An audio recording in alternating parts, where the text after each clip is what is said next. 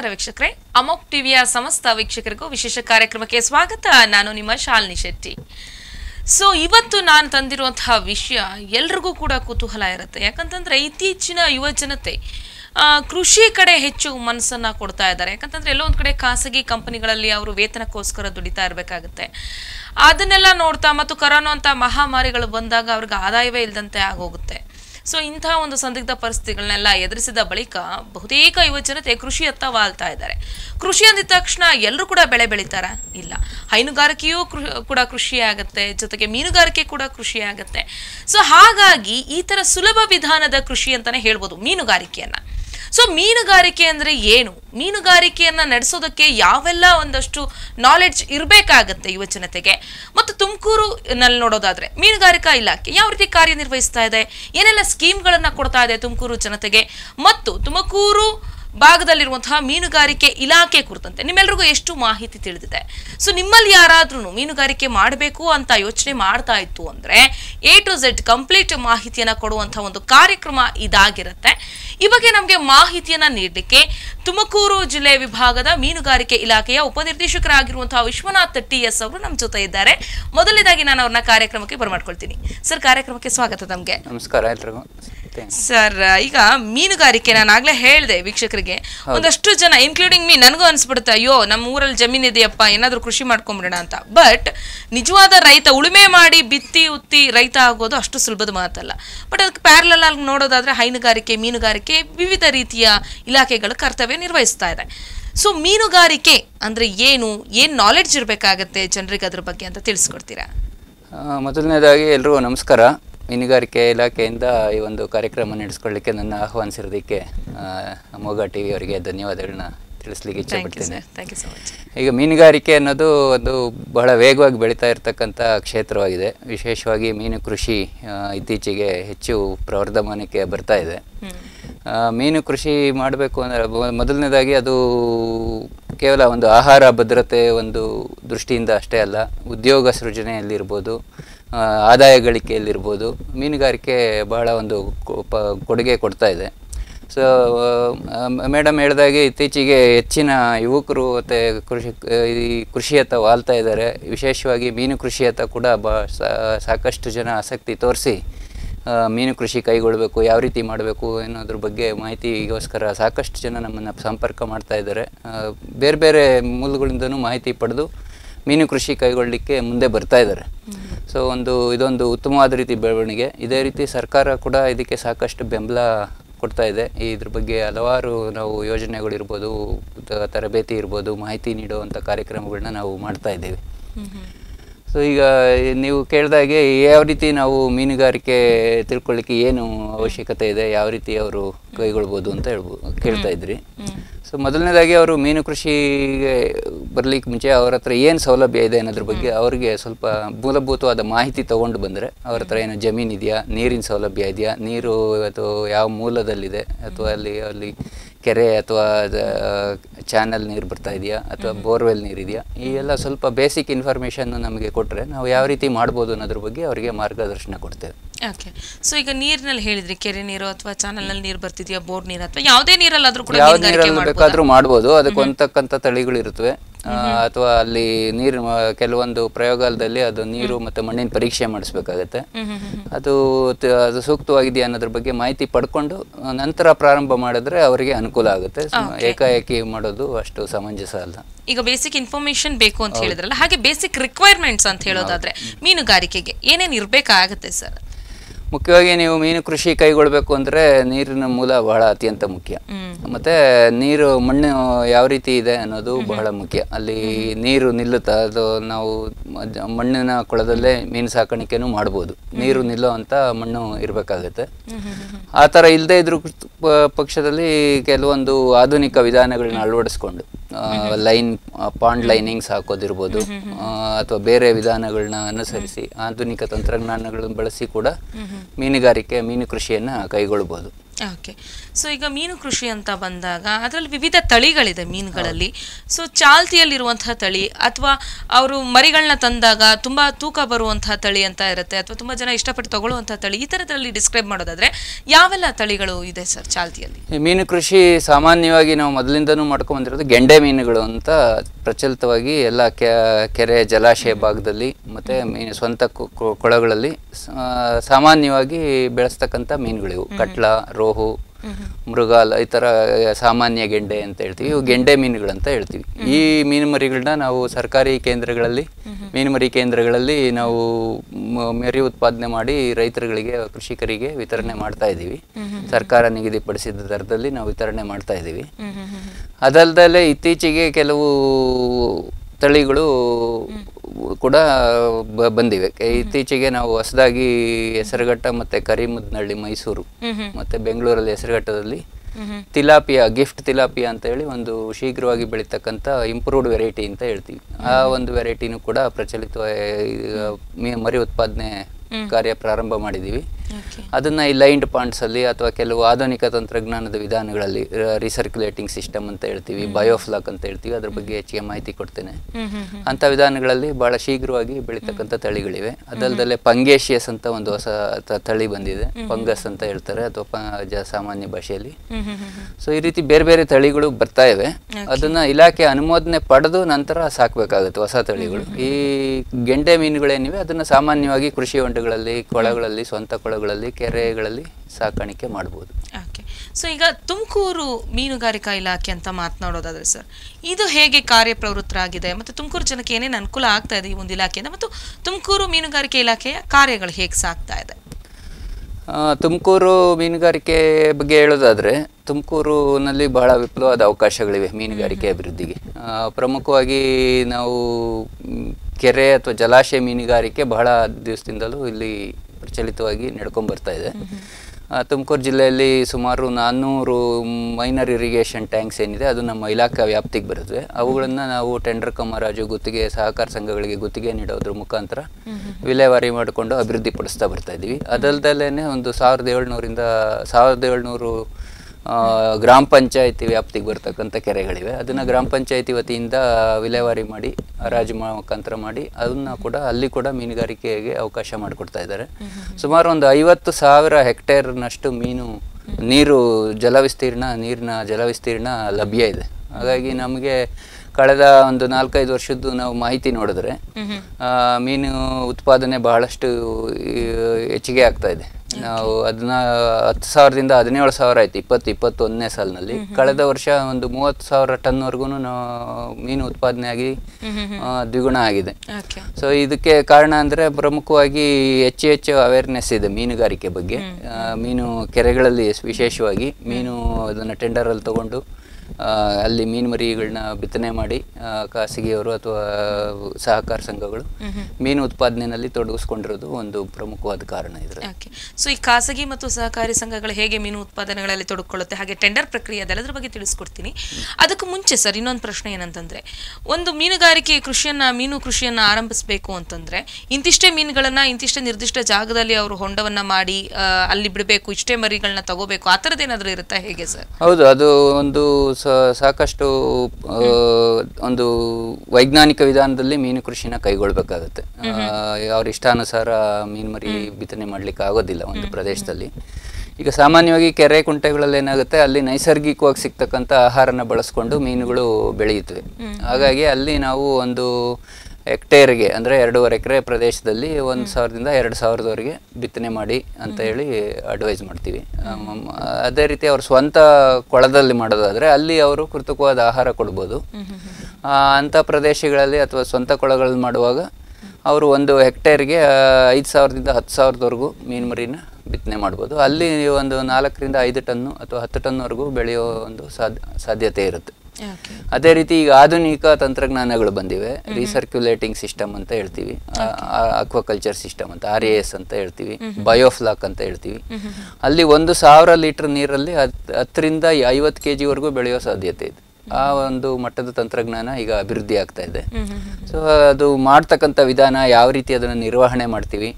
ಈ ಒಂದು ಇದ್ರ ಮೇಲೆ ಉತ್ಪಾದನೆ ಮತ್ತು ಉತ್ಪಾದಕತೆ ಅಂತ ಹೇಳ್ತೀವಲ್ಲ ಅದು ನಿರ್ಧಾರ ಆಗುತ್ತೆ. ಹೌದು. ಓಕೆ ಸೊ ಈಗ ಈ ಮೀನು ಕೃಷಿ ತುಂಬಾ ದುಬಾರಿನ ಅಥವಾ ಅಫೋರ್ಡಬಲ್ ಹೇಗೆ ಅಂತ? ಯಾಕಂದ್ರೆ ಜನಕ್ಕೆ ಅದ್ರ ಬಗ್ಗೆ ಮಾಹಿತಿಯನ್ನು ನೀಡ್ತಾ ಇರುವಾಗ ನಮಗೆ ಅವರು ಅಷ್ಟೆಲ್ಲ ಹೇಳ್ತಾರೆ ಏನೇನೋ ಆಧುನಿಕ ವಿಧಾನ ಅಂತಿದ್ದಾರೆ ತುಂಬಾ ದುಬಾರಿ ಆಗುತ್ತೇನೋ ಅನ್ನೋಂಥ ಒಂದು ಪ್ರಶ್ನೆ ಮೂಡುತ್ತೆ. ದುಬಾರಿ ಇದು ಎಲ್ಲ ಹಂತದಲ್ಲೂ ಮಾಡ್ಬೋದು. ಅವರ ಬಂಡವಾಳ ಯಾವ ರೀತಿ ಇದೆ ಆ ಆ ರೀತಿ ಇದನ್ನ ಮೀನು ಕೃಷಿನ ಕೈಗೊಳ್ಬೋದು. ಈಗ ನಾನೇನು ಹೇಳಿದೆ ವ್ಯಾಪಕ ವಿಧಾನ ಎಕ್ಸ್ಟೆನ್ಸಿವ್ ಸಿಸ್ಟಮ್ ಅಂತ ಹೇಳ್ತೀವಿ. ಅಲ್ಲಿ ಏನು ಹೆಚ್ಚಿನ ಒಂದು ಇನ್ವೆಸ್ಟ್ಮೆಂಟ್ ಇರೋದಿಲ್ಲ. ಸೊ ಕೇವಲ ಮೀನು ಮರಿ ಬಿಡ್ತಾರೆ ಅಥವಾ ಅದಕ್ಕೆ ನೈಸರ್ಗಿಕವಾಗಿ ಆಹಾರ ಉತ್ಪಾದನೆಗೆ ಏನು ಗೊಬ್ಬರ ಅದು ಹಾಕಬೇಕು ಅಷ್ಟು ಹಾಕಿ ಮಾಡ್ತಕ್ಕಂಥ ವಿಧಾನ ಅಲ್ಲಿ ಏನು ಹೆಚ್ಚು ಖರ್ಚಿರೋದಿಲ್ಲ. ಅಂದರೆ ಅವರಿಗೆ ಸಹ ನೈಸರ್ಗಿಕವಾಗಿ ಒಂದು ಕೊಳ ಇರಬೇಕಾಗುತ್ತೆ ಅಷ್ಟೇ ಸೊ ಅಲ್ಲಿ ಹೆಚ್ಚಿನ ಒಂದು ನಿರ್ವಹಣೆ ಅವಶ್ಯಕತೆ ಇರೋದಿಲ್ಲ. ಅಲ್ಲಿ ಬಂಡವಾಳ ಕಡಿಮೆ.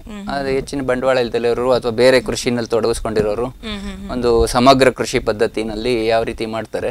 ಬೇರೆ ಈಗ ಕುರಿ ಸಾಕಣೆ ಇರ್ಬೋದು ಇನ್ನೊಂದು ಹೈನುಗಾರಿಕೆ ಇರುತ್ತೆ ಅಂತ ಹೇಳಿದ್ರಿ. ಜೊತೆ ತೋಟ ಇರುತ್ತೆ ಇನ್ನೊಂದೇನೋ ಕೃಷಿ ಇರುತ್ತೆ. ಸೊ ಆ ಸಂದರ್ಭದಲ್ಲಿ ಒಂದು ಸಣ್ಣ ಕೊಳ ಇದ್ರೆ ಅಲ್ಲಿ ಕಡಿಮೆ ಬಂಡವಾಳದಲ್ಲಿ ಅವರಿಗೆ ಅಗತ್ಯ ಇರತಕ್ಕಂಥ ಮೀನನ್ನ ಬೆಳ್ಕೋಬಹುದು ಇದು ಬಹಳ ಸರಳವಾಗಿ ಮಾಡ್ತಕ್ಕಂಥ ಒಂದು ಮೀನು ಕೃಷಿ. ಇಲ್ಲ ನಾನು ಬಂಡವಾಳ ಹಾಕಕ್ಕೆ ಇದೆ ನಾವು ಮೀನು ಬೆಳಿತೀವಿ ಇದನ್ನ ಇನ್ನು ವಿಸ್ತಾರವಾಗಿ ನಾವು ಮಾರುಕಟ್ಟೆಗೆ ತಗೊಂಡೋಗ್ತೀವಿ. ಇದರಲ್ಲಿ ಒಂದು ಉದ್ಯಮದ ರೀತಿನಲ್ಲಿ ಮಾಡ್ತೀವಿ ಅನ್ನೋರಿಗೆ ಕೂಡ ಅವಕಾಶ ಇದೆ ಇದರಲ್ಲಿ? ಈಗ ಏನು ಹೇಳಿದೆ ತಂತ್ರಜ್ಞಾನಗಳು ಅವುಗಳನ್ನ ಅಳವಡಿಸ್ಕೊಂಡು ಐವತ್ತು ಲಕ್ಷದವರೆಗೂ ನಾವು ಇನ್ವೆಸ್ಟ್ಮೆಂಟ್ ಮಾಡಿ ಒಂದು ವ್ಯವಸ್ಥೆನ ಅಭಿವೃದ್ಧಿಪಡಿಸ್ಬೋದು ಮೀನು ಕೃಷಿಯಲ್ಲಿ. ಸಾಧ್ಯತೆ ಇದೆ. ಏನಂತಂದ್ರೆ ಮೀನುಗಳು ಸಾಮೂಹಿಕವಾಗಿ ಒಂದೊಂದೇ ಸರ್ತಿ ಸತ್ ಹೋಗ್ಬಿಟ್ಟಿರುತ್ತೆ ಅಥವಾ ಏನಾದ್ರೂ ಕಾಯಿಲೆಗಳು ಬಂದಿರುತ್ತೆ ಅಥವಾ ನೀರಲ್ಲಿ ಏನಾದ್ರೂ ವ್ಯತ್ಯಯ ಆಗಿರುತ್ತೆ ಯಾಕೆ ಆ ಥರ ಆಗ್ಬೋದು? ಮೀನುಗಾರಿಕೆಗೆ ಕೈ ಹಾಕದ ಮೇಲೆ ನಾವು ತಿಳ್ಕೊಬೇಕಿರುವಂತಹ ಪ್ರಮುಖ ಅಂಶಗಳೇನು? ಯಾವುದೇ ಕೃಷಿ ಆಗಿರ್ಬೋದು ಕುರಿ ಸಾಕಾಣಿಕೆ ಆಗಿರ್ಬೋದು ಹೈನುಗಾರಿಕೆ ಆಗಿರ್ಬೋದು. ಸೊ ಅದರಿಂದ ಲಾಭ ಏನಿದೆ ಅಂತ ತಿಳ್ಕೊಳ್ಳೋದ್ರ ಜೊತೆ ಜೊತೆಗೆ ರಿಸ್ಕ್ ಫ್ಯಾಕ್ಟರ್ಸ್ ಏನಿರುತ್ತೆ? ಸೊ ಯಾವುದೇ ಕಾಂಪ್ಲಿಕೇಶನ್ಸ್ ಆಗದೆ ಹೇಗೆ ನೋಡ್ಕೋಬೇಕು? ಪ್ರಿಕಾಷನ್ಸ್ ಹೇಗೆ ತಗೊಳ್ಬೇಕು ಅನ್ನೋದು ತುಂಬ ಮುಖ್ಯ ಆಗುತ್ತೆ. ಸೊ ಮೀನುಗಾರಿಕೆ ಅಂದಾಗ ಬಹಳ ಸೂಕ್ಷ್ಮವಾಗಿರುವಂಥ ವಿಷಯ ಅಷ್ಟೇ ಲಾಭವನ್ನು ತಂದುಕೊಡುವಂಥ ಒಂದು ಕೃಷಿ. ಸೊ ಇದರಲ್ಲಿ ಯಾವೆಲ್ಲ ಮುನ್ನೆಚ್ಚರಿಕಾ ಕ್ರಮಗಳನ್ನು ತೆಗೆದುಕೊಳ್ಬೇಕು? ವಿಶ್ವನಾಥ್ ಸರ್ ಹತ್ರ ಕೇಳೋಣ. ಸೊ ಸರ್ ಯಾವುದೇ ಒಂದು ಒಂದು ಚಿಕ್ಕ ಗಿಡ ನೆಟ್ಟರು ಕೂಡ ಅದಕ್ಕೊಂದು ರೋಗ ಅನ್ನೋದು ಇದ್ದೇ ಇರುತ್ತೆ. ಸೊ ಮೀನುಗಾರಿಕೆ ಅಂತ ಬಂದಾಗ ಒಂದೇ ಹೊಂಡದಲ್ಲಿರೋದ್ರಿಂದ ಅವು ಹೋಲ್ಸೇಲ್ ಎಲ್ಲ ಮೀನ್ಗೂ ಆಗುವಂಥ ಹೋಲ್ ಅಂಡ್ ಸೋಲ್ ಆಗಿ ಕಾಯಿಲೆಗಳು ಬರುವಂಥ ಚಾನ್ಸಸ್ಗಳಿರಬಹುದೇನೋ ಬಹುಶಃ. ಸೊ ಏನೇನು ರಿಸ್ಕ್ ಫ್ಯಾಕ್ಟರ್ಸ್ ಎಲ್ಲ ಕೃಷಿ ಚಟುವಟಿಕೆಗಳಿದ್ದಾಗೆ ಮೀನುಗಾರಿಕೆಯಲ್ಲೂ ಕೂಡ ಕೆಲವೊಂದು ಸಮಸ್ಯೆಗಳು ಬರುತ್ತವೆ. ಯಾವಾಗ ನಾವು ನೈಸರ್ಗಿಕವಾಗಿ ನೈಸರ್ಗದ ವಿರುದ್ಧವಾಗಿ ಅಥವಾ ಅದಕ್ಕಿಂತ ಒಂದು ಮೀರಿ ನಾವು ಮಾಡ್ಲಿಕ್ಕೆ ಹೋಗ್ತೀವಿ ಅವಾಗೆಲ್ಲ ಸಮಸ್ಯೆಗಳು ಇದ್ರಾಗೆ ಆಗುತ್ತೆ. ಇದು ಸಾಮಾನ್ಯ ಇದು. ಯಾ ನಾವು ನೈಸರ್ಗಿಕವಾಗಿ ಏನು ಹೇಳಿದೆ ಒಂದು ವ್ಯಾಪಕವಾಗಿ ಒಂದು ಸರಳವಾದ ಕೃಷಿ ಮಾಡಿದಾಗ ಅಷ್ಟೊಂದು ಸಮಸ್ಯೆ ಬರಲಿಕ್ಕಿಲ್ಲ. ನಾವು ಕಡಿಮೆ ಸಾಂದ್ರತೆಯಲ್ಲಿ ಕಡಿಮೆ ಒಂದು ಇದರಲ್ಲಿ ಬಂಡವಾಳದಲ್ಲಿ ಮಾಡಿದಾಗ ಹೆಚ್ಚು ಸಮಸ್ಯೆ ಬರಲ್ಲ. ಯಾವಾಗ ನಾವು ಡೆನ್ಸಿಟಿ ಅಥವಾ ಸ್ಟಾಕಿಂಗ್ ಡೆನ್ಸಿಟಿ ಅಂತ ಏನು ಹೇಳ್ತೀವಿ? ಬಿತ್ತನೆ ಸಾಂದ್ರತೆ ಮತ್ತೆ ಆ ಕೃತಕವಾದ ಆಹಾರ ಕೊಡೋದು ಮತ್ತೆ ಬೇರೆ ಬೇರೆ ವಿಧಾನಗಳನ್ನ ಅಳವಡಿಸ್ಕೊಂಡು ಅಲ್ಲಿ ಉತ್ಪಾದನೆಯನ್ನು ಜಾಸ್ತಿ ಹೆಚ್ಚು ಮಾಡಲಿಕ್ಕೆ ಯಾವಾಗ ಪ್ರಯತ್ನ ಮಾಡ್ತೀವಿ ಅಲ್ಲಿ ಕೆಲವೊಂದು ಸಮಸ್ಯೆಗಳು ಉದ್ಭವ ಆಗುತ್ತವೆ ಮೊದಲನೇದಾಗಿ ಸಾ- ಸಾಮಾನ್ಯವಾಗಿ ಸಮಸ್ಯೆ ಬರ್ತಕ್ಕಂಥದ್ದು ನೀರಿನ ಗುಣಮಟ್ಟದ ಸಮಸ್ಯೆ ಮೀನು ಕೃಷಿಯಲ್ಲಿ. ಸೊ ಏನಾಗುತ್ತೆ ನೀರುಗೆ ನಾವು ಆಹಾರ ಗೊಬ್ಬರ ಎಲ್ಲ ಹಾಕ್ತಿದ್ದಾಗ ನೀರಿನಲ್ಲಿ ಕೆಲವೊಂದು ವಿಷ ಕಲುಷಿತ ಅಂಶಗಳು ಉತ್ಪಾದನೆ ಆಗುತ್ತವೆ. ಅದನ್ನು ನಿವಾರಣೆ ಮಾಡಲಿಕ್ಕೆ ನಾವು ಪ್ರಯತ್ನ ಮಾಡಬೇಕು. ಆಗಿಂದಾಗೆ ಒಂದು ಶೇಕಡ ಹತ್ತರಷ್ಟು ನೀರು ಬದಲಾವಣೆ ಮಾಡುವಂಥದ್ದು ಅಥವಾ ಅದಕ್ಕೆ ಗಾಳಿ ಒದಗಿಸೋಕಂಥದ್ದು ಈ ಥರದ್ದು ಕೆಲವೊಂದು ವ್ಯವಸ್ಥೆಗಳನ್ನ ಮಾಡಿಕೊಂಡ್ರೆ ಸಮ ಬಹುತೇಕ ಸಮಸ್ಯೆಗಳು ಪರಿಹಾರ ಆಗುತ್ತೆ. ನಾವು ಈಗ ಹೆಚ್ಚಿನ ಸಾಂದ್ರತೆಯಲ್ಲಿ ಮೀನು ಕೊಳದಲ್ಲಿ ಸಾಂದ್ರತೆ ಮಾಡುವಾಗ ಯಾವುದೋ ಕೆಲವೊಮ್ಮೆ ಬೇ ರೋಗಗಳು ಬರಲಿಕ್ಕೆ ಸಾಧ್ಯತೆ ಇರುತ್ತೆ. ನಾವು ಕೊಳ ತಯಾರಿ ಮಾಡುವಾಗ ಈ ಸುಣ್ಣ ಹಾಕೋದು ಈ ಥರ ಕೆಲವೊಂದು ಕ್ರಮಗಳನ್ನ ಅನುಸರಿಸಿದಾಗ ಈ ಕ್ರಿಮಿ ಅದಕ್ಕೆ ತಗಲ್ತಕ್ಕಂಥ ಕ್ರಿಮಿಗಳು ಅಥವಾ ರೋಗಕಾರಕ ಅಂಶಗಳನ್ನ ನಿವಾರಣೆ ಮಾಡ್ಬೋದು. ಸೊ ವೈಜ್ಞಾನಿಕವಾಗಿ ಕೊಳ ನಿರ್ಮಾಣ ಆಗಲೇಬೇಕು ಹೌದು ಸಿದ್ಧತೆ ಮಾಡ್ಕೋಬೇಕು ನಾವು ಕೊಳನ ಮೀನು ಮರಿ ಮೀನು ಕೃಷಿ ಮಾಡುವಾಗ. ಆ ಸಿದ್ಧತೆಗಳನ್ನ ಮಾಡಿಕೊಂಡು ನಾವು ಮೀನು ಕೃಷಿಗಳು ಮಾಡ್ ಮಾಡ್ದ ಶುರು ಮಾಡಿದ್ರೆ ಆ ಕೆಲವೊಂದು ಸಮಸ್ಯೆಗಳು ನಿವಾರಣೆ ಆಗುತ್ತೆ. ಅದಾಗಿಯೂ ಕೆಲವೊಂದು ರೋಗಗಳು ಬಂದಾಗ ನಾವು ತಜ್ಞರನ್ನ ಸಂಪರ್ಕಿಸ್ಕೋಬೇಕು. ಆಗಿಂದಾಗೆ ಒಂದು ತಿಂಗಳಿಗೆ ಎರಡು ತಿಂಗಳಿಗೆ ಅದರದ್ದು ಸ್ಯಾಂಪಲ್ನ ಕಳಿಸಿ. ಲ್ಯಾಬಲ್ಲಿ ಪರೀಕ್ಷೆ ಮಾಡಿಸಿ. ಅದಕ್ಕೆ ನೀವಂತ ಅದಕ್ಕೆ ಏನಾದರೂ ಸಮಸ್ಯೆ ಬರ್ತಾ ಇದೆಯಾ? ಅಥವಾ ಆಹಾರ ಹಾಕುವಾಗ ಆಹಾರ ನಿಯಮಿತವಾಗಿ ಸ್ವೀಕರಿಸ್ತಾ ಇದೆಯಾ ಇಲ್ವಾ? ಈ ಥರ ಎಲ್ಲ ಅಂಶಗಳನ್ನ ನಾವು ಗಮನಿಸ್ತಾ ಇದ್ರೆ ಬರ್ತಕ್ಕಂಥ ಸಮಸ್ಯೆಗಳನ್ನ ನಿವಾರಣೆ ಮಾಡ್ಬೋದು.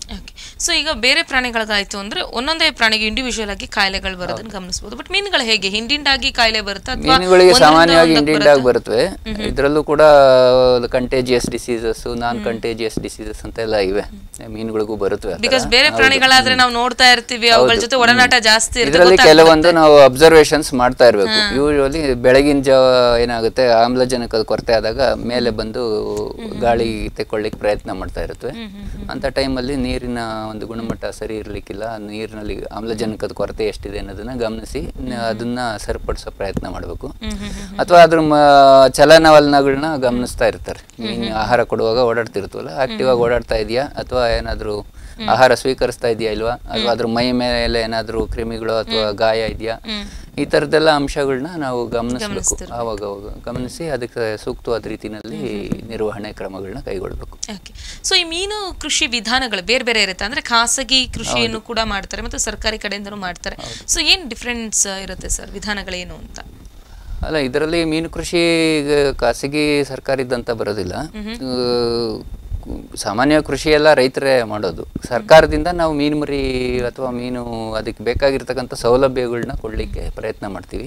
ಫೆಸಿಲಿಟೇಟ್ ಅಂತ ಏನು ಹೇಳ್ತೀವಿ ಆ ಥರ ಮಾಡ್ತಾ ಇದ್ದೀವಿ. ಅಲ್ಲ ಈಗ ಸರ್ಕಾರದಿಂದ ಈಗ ಒಂದಷ್ಟು ಜನ ನಿಮ್ಮ ಹತ್ರ ಬಂದು ಮೀನು ಮರಿಗಳನ್ನು ತೆಗೆದುಕೊಳ್ತಾರೆ. ಬಟ್ ಖಾಸಗಿ ವ್ಯಕ್ತಿಗಳು ಬೇರೆ ಕಡೆಯಿಂದ ಈಗ ಮೀನು ಮರಿ ಮೀನು ಮರಿ ಲಭ್ಯತೆ ಬಗ್ಗೆ ಹೇಳೋದಾದ್ರೆ ತುಮಕೂರು ಜಿಲ್ಲೆಯಲ್ಲಿ ನಮ್ಮಲ್ಲಿ ಏಳು ಮೀನು ಮರಿ ಪಾಲನಾ ಕೇಂದ್ರಗಳಿವೆ ನರ್ಸರಿಗಳು. ಅಲ್ಲಿ ನಿಮಗೆ ರೈತರಿಗೆ ಕೃಷಿ ಹೊಂಡದಲ್ಲಿ ಮೀನು ಸಾಕಾಣಿಕೆ ಮಾಡೋರಿಗೆ ಈ ಗೆಂಡೆ ಮೀನುಗಳಂತ ಏನು ಹೇಳಿದೆ ಕಟ್ಲ ರೋಹು ಸಾಮಾನ್ಯ ಗೆಂಡೆ ಅವಳದು ಒಂದು ಸೀಸನ್ನಲ್ಲಿ ನಾವು ಅದನ್ನು ಸರಬರಾಜು ಮಾಡ್ತೀವಿ. ಅದೇ ರೀತಿ ಖಾಸಗಿಯಲ್ಲೂ ಕೆಲವರು ಪಾಲ ಪಾಲನೆ ಕೈಗೊಳ್ತಾರೆ ಮೀನು ಮರಿ ಉತ್ಪಾದನೆ ಪಾಲನೆ. ಅವನ್ನ ನಾವು ಸರ್ಕಾರದಿಂದ ನೋಂದಾಯಿಸ್ಕೊಂಡಿರ್ತೀವಿ ಅವ್ರನ್ನ. ಅಂಥವ್ರು ಅವರಿಂದನೂ ಕೂಡ ಖರೀದಿ ಮಾಡ್ಬೋದು. ಹ್ಮ್ ಹ್ಮ್ ಹ್ಮ್ ಆ, ಮೀನು ಮರಿ ಲಭ್ಯತೆ ಖಾಸಗಿಯಲ್ಲೂ ಸಿಗುತ್ತೆ ಇದರ ಸರ್ಕಾರಿ ಕೇಂದ್ರಗಳಲ್ಲೂ ಸಿಗುತ್ತೆ. ಓಕೆ ಸೊ ಇನ್ನು ಕೆರೆಗಳ ವಿಷಯಕ್ಕೆ ಬಂತು ಅಂದ್ರೆ ನಾವೀಗ ಇಷ್ಟೊತ್ತು ಹೊಂಡದಲ್ಲಿ ಮೀನು ಸಾಕಣೆ ಮಾಡುವಂಥದ್ದು ಇಂಡಿವಿಜುವಲ್ ರೈತರ ಬಗ್ಗೆ ಮಾತನಾಡಿದ್ವಿ. ಸೊ ಕೆರೆಗಳಲ್ಲೂ ಕೂಡ ಮೀನು ಸಾಕಣೆಯನ್ನು ಮಾಡ್ತಾರೆ. ಯಾವ ತರ? ತುಮಕೂರು ಭಾಗದಲ್ಲಿ ಸುಮಾರು ಹತ್ತು ತಾಲೂಕಿನಲ್ಲಿ ಯಾವ್ಯಾವ ರೀತಿಯ ಕೆರೆಗಳನ್ನು ನೀವು ಆಯ್ಕೆ ಮಾಡ್ಕೊಳ್ತೀರಾ ಮೀನು ಸಾಕಾಣಿಕೆಗೆ ಅಂತ ಏನು ಪ್ರೋಸೆಸ್ ನಡೆಯುತ್ತೆ ಸರ್ ಅದು? ಕೆರೆಗಳು ಈಗ ನಾ ನಮ್ಮ ಕೆರೆ ಮತ್ತು ಜಲಾಶಯಗಳ ವಿಷಯಕ್ಕೆ ಬಂದು ಬರೋದಾದರೆ ಸ ಅದ್ರದ್ದು ಓನರ್ಶಿಪ್ ಬಂದು ಮೈನರ್ ಇರಿಗೇಷನ್ ಡಿಪಾರ್ಟ್ಮೆಂಟಲ್ಲಿರುತ್ತೆ ಕೆಲವು ಭಾಗ. ನಲವತ್ತು ಹೆಕ್ಟೇರ್ ಅಚ್ಚುಕಟ್ಟು ಅಂತ ಏನು ಹೇಳ್ತೀವಿ. ಅದಕ್ಕಿಂತ ಮೀರಿದ್ದೆಲ್ಲ ಮೈನರ್ ಇರಿಗೇಷನ್ ಕಂಟ್ರೋಲಲ್ಲಿದೆ ಅದಕ್ಕಿಂತ ಕಡಿಮೆ ಇರ್ತಕ್ಕಂಥ ಕೆರೆಗಳು ಗ್ರಾಮ ಪಂಚಾಯತಿ ವ್ಯಾಪ್ತಿಗೆ ಬರುತ್ತವೆ. ಈ ಮೈನರ್ ಇರಿಗೇಷನ್ ವ್ಯಾಪ್ತಿಗೆ ಬರುವು ಮತ್ತು ಜಲಾಶಯಗಳೇನಿವೆ ತುಮಕೂರಲ್ಲಿ ನಾಲ್ಕು ಜಲಾಶಯ ಇವೆ. ಮಾರ್ಕೋನಹಳ್ಳಿ ಮಂಗಳ ಜಲಾಶಯ ಬೋರನ್ ಕಣಿವೆ ಈ ಕಡೆ ತೀತ ಜಲಾಶಯ ಅಂತ ನಾಲ್ಕು ಜಲಾಶಯಗಳಿವೆ. ಮತ್ತು ಒಂದು ನಾನ್ನೂರು ಮೈನರ್ ಇರಿಗೇಷನ್ನು ವ್ಯಾಪ್ತಿಗೆ ಬರ್ತಕ್ಕಂಥ ಕೆರೆಗಳಿವೆ. ಈಗಳದ್ದು ಮೀನುಗಾರಿಕೆ ವ್ಯಾಪ್ತಿ ನಾವು ಇಲಾಖೆಯಿಂದ ನಿರ್ವಹಣೆ ಮಾಡ್ತಾ ಇದ್ದೀವಿ. ಆ ಕೆರೆಗಳನ್ನ ವಿಲೇವಾರಿ ಮಾಡಬೇಕಾದ್ರೆ ಜಲಾಶಯಗಳನ್ನ ನಾವು ಒಂದು ಸರ್ಕಾರದ ಒಂದು ಒಳನಾಡು ಮೀನುಗಾರಿಕೆ ನೀತಿ ಅಂತ ಒಂದು ಆದೇಶ ಇದೆ. ಅದರ ಆಧಾರದ ಮೇಲೆ ನಾವು ಮೊದಲು ಮೇ ಜೂನ್ನಲ್ಲಿ ಜೂನಲ್ಲಿ ನಾವು ಸಹಕಾರ ಸಂಘಗಳಿಂದ ಅರ್ಜಿ ಆಹ್ವಾನ ಮಾಡ್ತೀವಿ. ಅವು ಗುತ್ತಿಗೆ ಕೊಡಲಿಕ್ಕೆ. ಎಲ್ಲೆಲ್ಲಿ ಎಲ್ಲ ಸುಮಾರು ಒಂದು ಮೂವತ್ತು ಮೂವತ್ತೆರಡು ಸಹಕಾರ ಸಂಘಗಳಿವೆ. ಮೀನುಗಾರರ ಸಹಕಾರ ಸಂಘಗಳು. ತುಮಕೂರು ಜಿಲ್ಲೆಯಲ್ಲಿ. ಬೇರೆ ಬೇರೆ ತಾಲೂಕಲ್ಲಿವೆ ಆ, ಅವು ಅವ್ರಿಗೆ ಅವಕಾಶ ಕೊಡ್ತೀವಿ ಮೊದಲನೇದಾಗಿ. ಅವರು ಗುತ್ತಿಗೆ ತಗೊಂಡು ಉಳಿದಂಥ ಕೆರೆಗಳನ್ನ ನಾವು ಮೊದಲು ಟೆಂಡರ್ ಕ ಮಹಾರಾಜ್ ಅಂತ ಮಾಡ್ತಾ ಇದ್ವಿ. ಮೊದಲು ಟೆಂಡರ್ ಇಲಾಖೆಯಿಂದ ಅರ್ಜಿ ಆಹ್ವಾನ ಅದು ಪ್ರಕಟಣೆ ಹೊರಡಿಸಿ ಅವುಗಳನ್ನ ಖಾಸಗಿಯವರಿಗೆ ಐದು ವರ್ಷದ ಅವಧಿಗೆ ಗುತ್ತಿಗೆ ಆದರೂ ಐದು ಐದು ವರ್ಷದ ಅವಧಿಗೆ ಕೊಡ್ತೀವಿ. ಟೆಂಡರ್ ಕ ಮಹಾರಾಜ್ ಮಾಡುವಾಗಲೂ ಕೂಡ ಐದು ವರ್ಷದ ಅವಧಿಗೆ ಅದನ್ನು ಹರಾಜು ಮಾಡ್ತಾ ಇದ್ವಿ. ಟೆಂಡರ್ ಕರೆದು ಟೆಂಡರ್ ಹಾಕಿದವರಿಗೆ ಮೊದಲು ಸ್ವೀಕರಿಸಿ, ಆಮೇಲೆ ಹರಾಜು ಮಾಡಿ ಯಾವುದು ಅತಿ ಹೆಚ್ಚು ಮೊತ್ತಕ್ಕೆ ಹೋಗುತ್ತೋ ಆ ರೀತಿ ಮಾಡ್ತಾ ಇದ್ವಿ. ಈಗ ಈ ವರ್ಷದಿಂದ, ಇಪ್ಪತ್ತೆರಡು ಇಪ್ಪತ್ತ್ ಮೂರನೇ ಸಾಲಿನಿಂದ ಈ ಟೆಂಡರ್ ಕಮ್ ಹರಾಜು ಪ್ರಕ್ರಿಯೆ ಕೈಬಿಟ್ಟು, ಅದರಲ್ಲಿ ಏನಾಗುತ್ತೆ, ಕಚೇರಿಗೆ ಬರ್ತಾರೆ ಕೆಲವರು, ಅದು ಅಷ್ಟು ಪಾರದರ್ಶಕವಾಗಿ ಆಗ್ತಾ ಇಲ್ಲ ಅನ್ನೋ ಒಂದು ದೂರುಗಳು ಬರ್ತಾ ಇದ್ದಿದ್ರು ಹಿನ್ನೆಲೆಯಲ್ಲಿ. ನಾವು ಅದನ್ನ ಆನ್ಲೈನ್ ಮೂಲಕ ಹೇಗೆ ಈಗ ಈ ಪ್ರಕ್ಯೂರ್ಮೆಂಟ್ ವಿಧಾನದಲ್ಲಿ ಎಲ್ಲ ಸರ್ಕಾರದ ಟೆಂಡರ್ಗಳೆಲ್ಲ ಈ ಪ್ರೊಕ್ಯೂರ್ಮೆಂಟ್ ಅಲ್ಲಿ ಮಾಡ್ತಾ ಇದ್ದಾರೆ. ಸೊ ಈ ಟೆಂಡರ್ ಈ ಟೆಂಡರ್ ಅನ್ನೋ ರೀತಿ ನಾವು ಈ ಪ್ರೊಕ್ಯೂರ್ಮೆಂಟ್ ಮುಖಾಂತರನೇ ಈಗ ಟೆಂಡರ್ ಮಾಡಬೇಕು ಅಂತ ಆದೇಶ ಆಗಿದೆ. ಇದ್ರ ಬಗ್ಗೆ ನಾವು ಹೆಚ್ಚಿನ ಪ್ರಚಾರ ಕೊಡ್ತಾ ಇದೀವಿ ಈ ಬರೋ ಆಗಸ್ಟ್ ಮಾಹೆಯಿಂದ ಈ ಪ್ರಕ್ರಿಯೆ ಶುರು ಆಗ್ತಾ ಶುರುವಾಗುತ್ತೆ. ಸೊ ನಿಮ್ದು ಅಧಿಕೃತ ವೆಬ್ಸೈಟ್ಗಳಲ್ಲಿ ಅವ್ರ ಅದ್ರದ್ದು ಇನ್ಫಾರ್ಮೇಶನ್ ಏನಾದ್ರು ತಗೊಳ್ತಾ ಇರ್ಬೋದು? ಈ ಹೌದು? ಅದ್ರ ಬದ್ದು e procurement dot Karnataka e proc dot Karnataka dot gov dot in ಅಂತ ವೆಬ್ಸೈಟ್ ಅದ್ರ ಮುಖಾಂತರ ನಾವು ಟೆಂಡರ್ ಅಪ್ಲೋಡ್ ಮಾಡ್ತೀವಿ. ಅದ್ರದ್ದೇ ಆದ ಒಂದು ಸಹಾಯವಾಣಿ ಇದೆ. ಇದ್ರ ಬಗ್ಗೆ ನಾವು ಪ್ರಚಾರ ಪ್ರಕಟಣೆಯನ್ನು ಕೊಟ್ಟಿದ್ದೀವಿ ಪೇಪರ್ಗಳಲ್ಲಿ ಮತ್ತೆ ಪಾಂಪ್ಲೆಟ್ಸ್ ಮಾಡಿ ಎಲ್ಲ ಪಂಚಾಯತಿಗಳಿಗೆ ಸಾರ್ವಜನಿಕರಿಗೆ ತಿಳಿಸ್ತಾ ಇದ್ದೀವಿ. ಆಸಕ್ತಿ ಇರ್ತಕ್ಕಂಥ ಕೆರೆಗಳನ್ನ ಟೆಂಡರ್ ಅಲ್ಲಿ ಪಡ್ಕೊಳ್ಳೋಕೆ ಆಸಕ್ತಿ ಇರ್ತಕ್ಕಂಥವ್ರು. ಅವರು ಕೂಡಲೇ ಅದನ್ನು ಸಂಪರ್ಕ ಮಾಡಿ ಅದಕ್ಕೆ ಅಗತ್ಯ ಇರ್ತಕ್ಕಂಥ ಡಿ ಎಸ್ ಸಿ ಕೀ ಮಾಡಿಸ್ಕೋಬೇಕಾಗುತ್ತೆ ಅದಕ್ಕೆ ಬೇಕಾಗಿರ್ತಕ್ಕಂಥ ದಾಖಲೆಗಳನ್ನ ಸರಿ ಹೊಂದಿಸ್ಕೊಂಡು ಅವ್ರು ಏನು ಎಂಪೆನಲ್ಡ್ ಇವ್ರು ಇರ್ತಾರೆ service providers D S C ಕೊಡುವಂಥವ್ರು ಅವರದನ್ನು ಸಂಪರ್ಕ ಮಾಡಿ ಅವರಿಂದ ಡಿ ಎಸ್ ಸಿ ಕೀ ತೊಗೊಂಡು ಈ ಪ್ರೊಕ್ಯೂರ್ಮೆಂಟ್ ವೆಬ್ಸೈಟಲ್ಲಿ ಅವರು ಟೆಂಡರ್ನ ಹಾಕ್ಲಿಕ್ಕೆ ತಯಾರಿ ಮಾಡ್ಕೋಬೇಕಾಗುತ್ತೆ. ಇದ್ರ ಬಗ್ಗೆ ಕೂಡ ನಾವು ಹೆಚ್ಚಿನ ಒಂದು ಪ್ರಚಾರ ಮಾಡ್ತಾ ಇದ್ದೀವಿ. ನಮ್ಮ ಕಚೇರಿಗಳು ತಾಲೂಕು ಮಟ್ಟದ ಕಚೇರಿಗಳಲ್ಲೂ ಆ ವೆಂಡರ್ಸ್ ಯಾರು ಸರ್ವಿಸ್ ಪ್ರೊವೈಡರ್ಸ್ ಅವ್ರನ್ನ ಕರೆಸಿ ಆ ಡಿ ಎಸ್ ಸಿ ಕೊಡಲಿಕ್ಕೂ ಕೂಡ ವ್ಯವಸ್ಥೆ ಮಾಡ್ತಾ ಇದ್ದೀವಿ. ಸೊ ಇದು ಆಗಸ್ಟ್ ಮೊದಲನೇ ವಾರದಿಂದ ಈ ಪ್ರಕ್ರಿಯೆ ಶುರುವಾಗುತ್ತೆ. ಇಷ್ಟಲ್ಲದಲ್ಲೇ ಈಗ ಸರ್ಕಾರ ಹೊಸದಾಗಿ ಆದೇಶ ಮಾಡಿದೆ. ಈ ಟೆಂಡರ್ ಮಾಡುವಾಗ ಅದರಲ್ಲಿ ಪರಿಶಿಷ್ಟ ಜಾತಿ ಪಂಗಡದವರಿಗೆ ಕೂಡ ನಾವು ಮೀಸಲಾತಿ ಕೊಡಬೇಕು. ಶೇಕಡ ಇಪ್ಪತ್ನಾಲ್ಕು ಪರ್ಸೆಂಟ್ ಅಷ್ಟು ಕೆರೆಗಳನ್ನು ಅವರಿಗೆ ಮೀಸಲಿಡಬೇಕು ಅನ್ನೋದಕ್ಕೂ ಕೂಡ ನಾವು ಕ್ರಮ ಕೈಗೊಂಡಿದ್ದೀವಿ. ನಾವು ಏನು ನೂರು ಹೆಕ್ಟೇರ್ವರೆಗೆ ಬರ್ತಕ್ಕಂಥ ಕೆರೆಗಳನ್ನ ಅದನ್ನ ಪರಿಶಿಷ್ಟ ಜಾತಿ ಪರಿಶಿಷ್ಟ ಪಂಗಡವರಿಗೆ ಇಪ್ಪತ್ನಾಲ್ಕು ಪರ್ಸೆಂಟ್ ನಾವು ಯಾವುದನ್ನ ಟೆಂಡರ್ ಕರಿತೀವಿ ಈ ಟೆಂಡರ್ ಅದರಲ್ಲಿ ಅದನ್ನ ರಿಸರ್ವೇಶನ್ ಇಟ್ಟು ಮೀಸಲಾತಿ ಇಟ್ಟು ಈ ಟೆಂಡರ್ ಮಾಡಲಿಕ್ಕೂ ಕೂಡ ಕ್ರಮ ವಹಿಸ್ತಾ ಇದ್ದೀವಿ. ಇದ್ರ ಬಗ್ಗೆ ಸಾರ್ವಜನಿಕರಲ್ಲಿ ಅಥವಾ ಆಸಕ್ತಿ ಇರ್ತಕ್ಕಂಥ ಅವರಲ್ಲಿ ನಾನು ಕೇಳ್ಕೊಳ್ಳೋದೇನೆಂದರೆ ಇದಕ್ಕೆ ಬೇಕಾಗಿರ್ತಕ್ಕಂಥ ಎಲ್ಲ ವ್ಯವಸ್ಥೆಗಳನ್ನ ನೀವು ಇಲಾಖೆಯಿಂದ ಅಥವಾ ಸಂಬಂಧಪಟ್ಟ ವೆಬ್ಸೈಟಿಂದ ಮಾಹಿತಿ ಪಡೆದು ಸಜ್ಜಾಗಬೇಕು ಇದಕ್ಕೆ ಅಂತ ಹೇಳಿ ಎಲ್ಲರಲ್ಲೂ ಕೇಳ್ಕೊಂತೀವಿ ಖಂಡಿತ ಸರ್. ಸೊ ನೋಡಿದ್ರೆ ಈಗ ಎಲ್ಲವೂ ಕೂಡ ಆನ್ಲೈನ್ ಮುಖಾಂತರ ಆಗ್ತಾ ಇದೆ. ಟ್ರಾನ್ಸ್ಪರೆನ್ಸಿ ಇರಲಿ ಅನ್ನೋಂಥ ಒಂದು ಕಾರಣದಿಂದ ಈ ಟೆಂಡರ್ ಪ್ರಕ್ರಿಯೆ ಕೂಡ ಆರಂಭ ಆಗ್ತಾ ಇದೆ. ಸೊ ಆ ಬಗ್ಗೆ ಮತ್ತಷ್ಟು ಮಾಹಿತಿಯನ್ನು ಕೂಡ ನೀವು ಪಡ್ಕೊಳ್ತಾ ಹೋಗ್ಬೋದು ಮತ್ತು ನೀವು ಇಲಾಖೆಗೆ ತೆರಳಿ ಮಾಹಿತಿ ಕೂಡ ಪಡೆದುಕೊಳ್ಬಹುದು. ಅಂಡ್ ಅಗೈನ್ ತುಮಕೂರಿನ ಜನತೆ ಯಾವ ಮಟ್ಟಿಗೆ ಮೀನುಗಾರಿಕೆ ಮೇಲೆ ಆಸಕ್ತಿಯನ್ನು ಹೊಂದಿದ್ದಾರೆ? ಸೊ ಹತ್ತು ತಾಲೂಕುಗಳಲ್ಲಿ ಮೀನುಗಾರಿಕೆ ಹೇಗೆ ನಡೀತಾ ಇದೆ? ಯುವ ಜನರಿದ್ದಾರಾ? ಯಾರು ಈ ಒಂದು ಮೀನು ಕೃಷಿಯನ್ನ ಮಾಡ್ತಾ ಇದ್ದಾರೆ? ಮತ್ತು ಸರ್ಕಾರದಿಂದಾಗ್ಲಿ ಅಥವಾ ಮೀನುಗಾರಿಕೆ ಇಲಾಖೆಯಿಂದಾಗಲಿ ರಾಜ್ಯ ಆಗಲಿ ಕೇಂದ್ರ ಸರ್ಕಾರಗಳಾಗ್ಲಿ ಏನೇನು ಯೋಜನೆಗಳನ್ನ ಕೊಡ್ತಾ ಇದೆ? ಸೊ ಕೃಷಿ ಅಂದ ತಕ್ಷಣ ಒಂದಷ್ಟು ಸಾಕಷ್ಟು ಯೋಜನೆಗಳು ಬಂದೇ ಬರುತ್ತೆ ರೈತರ ಪಾಲಿಗೆ. ಸೊ ಈ ಮೀನುಗಾರಿಕೆಯಲ್ಲಿ ಯಾವ ತರಹದ ಯೋಜನೆಗಳು ಸಿಗುತ್ತೆ ನಮಗೆ? ಸೊ ಏನೇನು ಯೋಜನೆಗಳಿದೆ? ಇಲಾಖೆಯಿಂದ ಏನಾದರೂ ವಿಶೇಷ ಯೋಜನೆಗಳಿದೆಯಾ? ಮತ್ತು ಸರ್ಕಾರಗಳಿಂದ ಏನು ಯೋಜನೆಗಳು ಸಿಗುತ್ತೆ ನಮಗೆ? ಬನ್ನಿ ಪ್ರಶ್ನೆ ಮಾಡೋಣ. ಸೊ ವಿಶ್ವನಾಥ್ ಸರ್ ಯಾವುದೇ ಯೋಜನೆಗಳಿತ್ತು ಅಂದಾಗ ಒಂದಷ್ಟು ಆಕರ್ಷಿತರಾಗ್ತಾರೆ ಮತ್ತು ಅವರಿಗೆ ಆರ್ಥಿಕವಾಗಿ ಅದು ಸಹಾಯ ಆಗುತ್ತೆ ಕೂಡ. ಸೊ ಮೀನುಗಾರಿಕೆ ಕೃಷಿಯನ್ನ ಮಾಡುವಂಥವ್ರಿಗೆ ಏನೇನು ಯೋಜನೆಗಳಿದೆ? ಮೀನುಗಾರಿಕೆ ಇಲಾಖೆಯಿಂದ ಹಲವಾರು ಯೋಜನೆಗಳನ್ನ ನಾವು ಅನುಷ್ಠಾನ ಮಾಡ್ತಾ ಇದ್ದೇವೆ. ಇದರಲ್ಲಿ ಪ್ರಮುಖವಾಗಿ ನಾವು ಜಿಲ್ಲಾ ಪಂಚಾಯತ್ ವ್ಯಾಪ್ತಿನಲ್ಲಿ ಕೆಲಸ ಮಾಡ್ತಾ ಇರೋದು. ಅದರಿಂದ ಆದಂಥ ಕೆಲವು ಕಾರ್ಯಕ್ರಮಗಳಿವೆ. ಮತ್ತೆ ರಾಜ್ಯ ವಲಯ ಅಂದ್ರೆ ನಮ್ಮ ರಾ- ಕೇಂದ್ರ ನಮ್ಮ ರಾಜ್ಯ ಸರ್ಕಾರ ಏನಿದೆ ಮೀನುಗಾರಿಕೆ ನಿರ್ದೇಶನಾಲಯ ಅದ್ರ ಮುಖಾಂತರ ಮಾಡ್ತಕ್ಕಂಥ ಕೆಲವು ರಾಜ್ಯ ವಲಯ ಯೋಜನೆಗಳಿವೆ ಅದಲ್ಲದೆ ನಮಗೆ ಕೇಂದ್ರ ಸರ್ಕಾರದಿಂದ ಇತ್ತೀಚೆಗೆ ಸಾಕಷ್ಟು ಪ್ರೋತ್ಸಾಹ ಬರ್ತಾ ಇದೆ ಇದಕ್ಕೆ ಮೀನುಗಾರಿಕೆ ಕ್ಷೇತ್ರಕ್ಕೆ. ಇಪ್ಪತ್ತು ಇಪ್ಪತ್ತೊಂದನೇ ಸಾಲಿನಿಂದ ಪ್ರಧಾನ ಮಂತ್ರಿ ಮತ್ಸ್ಯ ಸಂಪದ ಯೋಜನೆ ಅಂತ ಹೇಳಿ ಮಾನ್ಯ ಪ್ರಧಾನ ಮಂತ್ರಿಯವರು ಘೋಷಣೆ ಮಾಡಿ. ಸುಮಾರು ಇಡೀ ದೇಶದಲ್ಲಿ ಒಂದು ಇಪ್ಪತ್ತು ಸಾವಿರ ಕೋಟಿ ಇನ್ವೆಸ್ಟ್ಮೆಂಟ್ ಆಗಬೇಕು ಹೂಡಿಕೆ ಆಗಬೇಕು ಮೀನುಗಾರಿಕೆ ಕ್ಷೇತ್ರದಲ್ಲಿ ಅನ್ನೋ ಉದ್ದೇಶ ಇಟ್ಟುಕೊಂಡು ಮುಂದಿನ ಐದು ವರ್ಷಗಳಲ್ಲಿ ಅದೊಂದು ಪ್ರಧಾನ ಮಂತ್ರಿ ಮತ್ಸ್ಯ ಸಂಪದ ಯೋಜನೆ ಅಂತ ಕೂಡ ಜಾರಿಗೆಗೊಳಿಸಿದ್ದಾರೆ ಅದನ್ನು ಕೂಡ ನಾವು ಅನುಷ್ಠಾನ ಮಾಡ್ತಾ ಇದ್ದೀವಿ. ಈ ಜಿಲ್ಲಾ ಪಂಚಾಯತ್ ಯೋಜನೆಗಳಿಗೆ ಬರೋದಾದ್ರೆ ಅದರಲ್ಲಿ ಒಂದು ಎರಡು ಮೂರು ಇತ್ತೀಚೆಗೆ ನಮ್ಮ ಸರ್ಕಾರ ಕೆಲವೊಂದು ಪರಿಷ್ಕಾರ ಮಾಡಿ ಹೊಸ ಹೊಸ ಯೋಜನೆಗಳನ್ನ ಅದರಲ್ಲಿ ಅನುಷ್ಠಾನ ಮಾಡಲಿಕ್ಕೆ ಅವಕಾಶ ಮಾಡಿಕೊಟ್ಟಿದ್ದಾರೆ. ಪ್ರಮುಖವಾಗಿ ಅಲ್ಲಿ ಮೀನುಗಾರರಿಗೆ ಪರಿಶಿಷ್ಟ ಜಾತಿ ಪರಿಶಿಷ್ಟ ಪಂಗಡದ ಮೀನುಗಾರರಿಗೆ ಮೀನುಗಾರಿಕೆ ಕಿಟ್ ಅಂತ ಕೊಡ್ತೀವಿ ಸಲಕರಣೆ ಕಿಟ್ ಅಂತ. ಅದರಲ್ಲಿ ಬಲೆ ಅಥವಾ ಅರಿಗೋಲು ಮೀನು ಹಿಡಿಲಿಕ್ಕೆ ಹೋಗ್ಲಿಕ್ಕೆ. ಮತ್ತೆ ಮೀನು ಮಾರಾಟ ಮಾಡೋಂಥವ್ರಿಗೆ ದ್ವಿಚಕ್ರ ವಾಹನ ಮತ್ತೆ ಐಸ್ ಬಾಕ್ಸ್ ಕೊಡ್ತಕ್ಕಂಥದ್ದು. ಬೈಸೈಕಲ್ ಐಸ್ ಬಾಕ್ಸ್ ಕೊಡ್ತಕ್ಕಂಥವು. ಈ ರೀತಿ ಯೋಜನೆಗಳು. ಇದರಲ್ಲಿ ಶೇಕಡ ನಲವತ್ತರಷ್ಟು ಸಹಾಯಧನ ಕೊಡ್ತೀವಿ. ಅವರು ಅರವತ್ತು ಪರ್ಸೆಂಟ್ ದುಡ್ಡು ಹಾಕ್ಬೇಕಾಗುತ್ತೆ. ಒಂದು ಈಗ ಉದಾಹರಣೆಗೆ ಬೈ ದ್ವಿಚಕ್ರ ವಾಹನ ಐಸ್ ಬಾಕ್ಸ್ ಖರೀದಿಗೆ ಎಪ್ಪತ್ತೈದು ಸಾವಿರ ಯೂನಿಟ್ ಕಾಸ್ಟ್ ಅಂತ ಇದ್ರೆ ನಾವು ಮೂವತ್ತು ಸಾವಿರ ಸಹಾಯಧನ ಕೊಡ್ತೀವಿ. ಅವರು ನಲವತ್ತೈದು ಸಾವಿರ ಅವ್ರು ಇನ್ವೆಸ್ಟ್ ಮಾಡಬೇಕಾಗತ್ತೆ. ಬಲೆ ಉಚಿತವಾಗಿ ಹತ್ತು ಸಾವಿರ ರೂಪಾಯಿ ಹೊರತು ನಾವು ಬಲೆ ಮತ್ತೆ ಯಾವ್ದು ಇದು ಎಲ್ರಿಗೂ. ಸಿಗುತ್ತಾ ಎಲ್ರಿಗೂ ಅಂದ್ರೆ ನಾವು ಪ್ರತಿ ವರ್ಷ ಇಷ್ಟು ಅಂತ ಒಂದು ಗುರಿ ಅನುದಾನದ ಗುರಿ ಇರುತ್ತೆ. ಅದ್ರ ಪ್ರಕಾರ ಸರ್ಕಾರದ ನಿಯಮದ ಪ್ರಕಾರ ನಾವು ಆಯ್ಕೆ ಪ್ರಕ್ರಿಯೆ ಮಾಡಿ ಬೆನಿಫಿಷನ್ನ ಆಯ್ಕೆ ಮಾಡ್ತೀವಿ. ಮುಂದಿನ ವರ್ಷ ಉಳಿದವ್ರನ್ನ ಕವರ್ ಮಾಡಲಿಕ್ಕೆ ಪ್ರಯತ್ನ ಮಾಡ್ತಾ ಹೋಗ್ತೀವಿ. ಸೊ ಈಗ ಕಂಪೇರಿಟಿವ್ಲಿ ಬೇರೆ ಡಿಸ್ಟಿಕ್ಗಳಿಗೆ ಕಂಪೇರ್ ಮಾಡಿದ್ರೆ ತುಮಕೂರಿನಲ್ಲಿ ಮೀನುಗಾರಿಕೆ ಹೇಗೆ ಸಾಕ್ತಾ ಇದೆ? ಯುವ ಜನತೆ ತುಮಕೂರಿನಲ್ಲಿ ಎಷ್ಟು ಆಕ್ಟಿವ್ ಆಗಿದ್ದಾರೆ ಇಲ್ಲಿ ಕೂಡ ಬ ಸಾಕಷ್ಟು ಆಸಕ್ತಿ ವಹಿಸಿ ಬರ್ತಾ ಇದ್ದಾರೆ. ನಮ್ಮಲ್ಲಿ ಈಗಾಗಲೇ ನಾನು ಈಗ ಈಗಾಗಲೇ ಹೇಳಿದೆ ಪ್ರಧಾನಮಂತ್ರಿ ಮತ್ಸ್ಯ ಸಂಪದ ಯೋಜನೆ ಅಂತ ಬಂದಿದೆ ಅಂತ. ಸಾಕಷ್ಟು ಅರ್ಜಿಗಳು ಬಂದಿವೆ. ಈಗ ನಾವು ಕ್ರಿಯಾ ಯೋಜನೆ ಕೂಡ ಮಾಡಿ ಸಹ ಅತಿ ಹೆಚ್ಚು ಇಡೀ ರಾಜ್ಯದಲ್ಲಿ ಅತಿ ಹೆಚ್ಚು ಕ್ರಿಯಾ ಯೋಜನೆಯನ್ನು ತಯಾರು ಮಾಡಿ ನಾವು ಸಬ್ಮಿಟ್ ಮಾಡಿದ್ದೀವಿ ಸ ಕೇಂದ್ರ ನಮ್ಮ ರಾಜ್ಯ ಸ ಇದು ನಿರ್ದೇಶನಾಲಯಕ್ಕೆ. ಸೊ ಸುಮಾರು ಮುನ್ ನಾನ್ನೂರಿಂದ ಐನೂರು ಅರ್ಜಿಗಳು ನಮ್ಮಲ್ಲಿ ಬಂದಿವೆ. ಇನ್ನೂ ಹೆಚ್ಚಿನ ಒಂದು ಆಸಕ್ತಿ ತೋರಿಸಿ ಬರ್ತಾ ಇದ್ದಾರೆ. ಅವರೇ ಸಹಾಯಧನ ಇಲ್ದಿದ್ರು ಸಹ ಮಾಡ್ತೀವಿ ಅನ್ನೋ ಉತ್ಸಾಹದಲ್ಲೂ ಕೂಡ ಎಷ್ಟೋ ಜನ ಮೀನು ಕೃಷಿಗೆ ಮುಂದೆ ಬರ್ತಾ ಇದ್ದಾರೆ. ಇನ್ನು ರಾಜ್ಯ ವಲಯ ಯೋಜನೆ ಅಂತ ಹೇಳಿದೆ. ಅದರಲ್ಲಿ ನಾವು ಮೀನು ಮರಿ ಖರೀದಿಗೆ ಸಹಾಯಧನ ಕೊಡ್ತೀವಿ. ಶೇಕಡ ಐವತ್ತರಷ್ಟು. ಯಾರು ಸ್ವಂತ ಕೊಳಗಳಿರ್ಬೋದು ಕೆರೆಗಳಲ್ಲಿರ್ಬೋದು. ಸಹಕಾರ ಸಂಘಗಳು ಏನು ಖರೀದಿ ಮಾಡ್ತಾರೆ ಮೀನು ಮರಿ ಅವ್ರು ಬಿತ್ತನೆ ಮಾಡಲಿಕ್ಕೆ ಅದಕ್ಕೆ ಶೇಕಡ ಐವತ್ತರಷ್ಟು ಖಾಸಗಿಯವ್ರಿಗಾದರೆ ಗರಿಷ್ಠ ಐದು ಸಾವಿರದವರೆಗೆ. ಸಹಕಾರ ಸಂಘಗಳಾದರೆ ಗರಿಷ್ಠ ಇಪ್ಪತ್ತು ಸಾವಿರದವರೆಗೆ ನಾವು ಸಹಾಯಧನ ಕೊಡ್ತಾ ಇದ್ದೀವಿ. ಜಲಾಶಯಗಳಲ್ಲಿ ಕೂಡ ಇಲಾಖೆ ವತಿಯಿಂದ ಮೀನು ಮರಿ ಬಿತ್ತನೆ ಮಾಡೋ ಕಾರ್ಯಕ್ರಮ ಇದೆ. ಕಿಟ್ಟು ಈಗ ಏನು ಹೇಳಿದ್ರೆ ಸಲಕರಣೆಗಳು ಕೊಡೋದು.